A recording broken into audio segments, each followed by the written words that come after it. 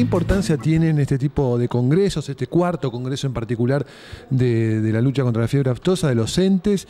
Y por otro lado también, ¿qué importancia tienen estos entes eh, a nivel nacional? ¿no? Bueno, son dos preguntas en una. Muchas, para los dos casos muchísimas, nos parece de fundamental importancia, por eso el año pasado eh, nos preocupamos eh, con esmero en hacer esto y este es el, segundo año consecutivo después de, una introducción, este, por eso estamos en el cuarto congreso.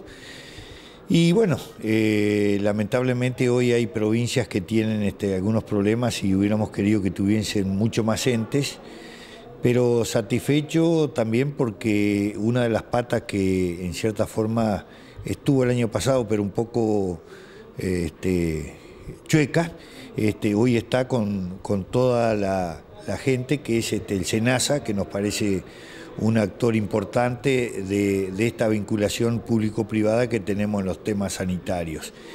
Y valga la explicación, este, como dice acá el cartel, este, y que eh, habla del Mercosur y habla libre sin vacunación, pero este, yo recién le aclaraba a uno de los técnicos que esto no es un, solamente un congreso eh, para la aftosa, ni solamente es un congreso para las fundaciones.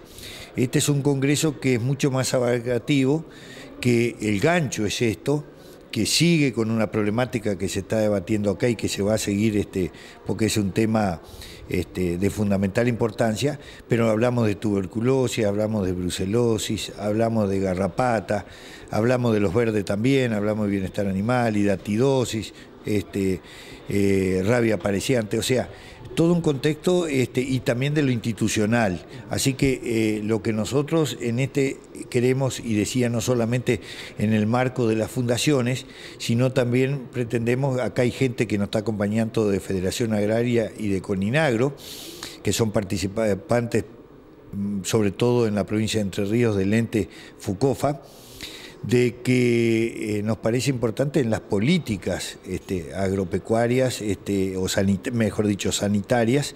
Entonces no es solamente un ente como este, ente para vacunar, y no es solamente un ente técnico que cumple un rol fundamental, es parte de una política sanitaria que nosotros pretendemos y que queremos, y por eso era eh, la necesidad de la participación que le habíamos hecho entender al doctor Carné y que por suerte lo entendió este, y, bueno, nos mandó a toda la gente este, de los cuales agradecemos y bueno, va a estar fe, va a estar todas las partes involucradas, me parece.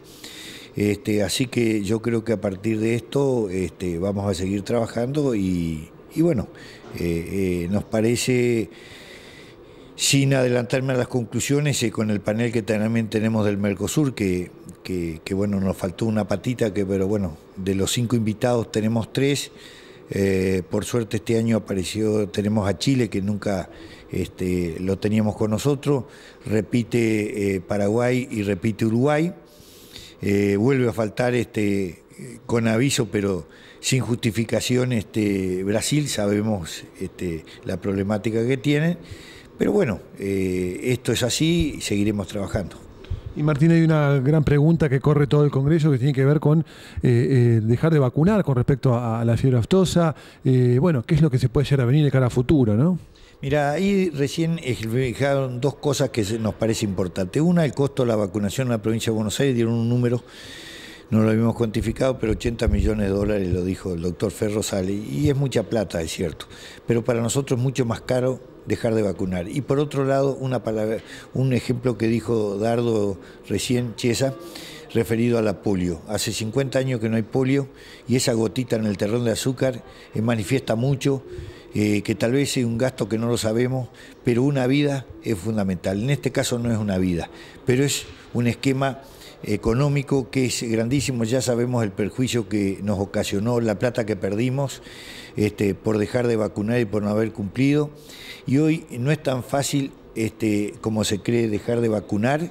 Este, porque retiramos la jeringa. Es todo el otro aparato que tiene, de que es el control que se llama epidemiológico, que es bastante más caro y que la gente no tiene la verdadera dimensión. Por suerte, Uruguay, Paraguay, Bolivia, Argentina, bueno, Chile está exento porque si bien están acurrucados de las cordilleras, tienen un, servicio muy serio, muy eficiente, que, yo lo valoro y lo estimo mucho, pero nos parece fundamental este caso, así que para nosotros el costo de la relación, también nos decía el doctor Balat, el presidente de la UIA el año pasado, que hay que poner plazos en las cosas, bueno, nosotros el plazo eh, lo vemos bastante todavía lejano, ojalá estuviéramos cercanos, hay muchas cosas, muchos problemas, y fundamentalmente vemos que la aftosa bolivariana, este, o por lo menos los problemas políticos pasan por ahí.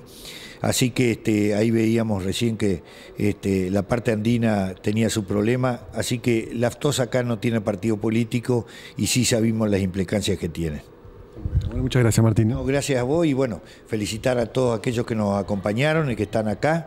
Seguiremos trabajando para que este, la relación pública-privada sea este, un eslabón importante de esto. Nosotros no, no queremos ser actores importantes porque somos una pata importante, como decíamos.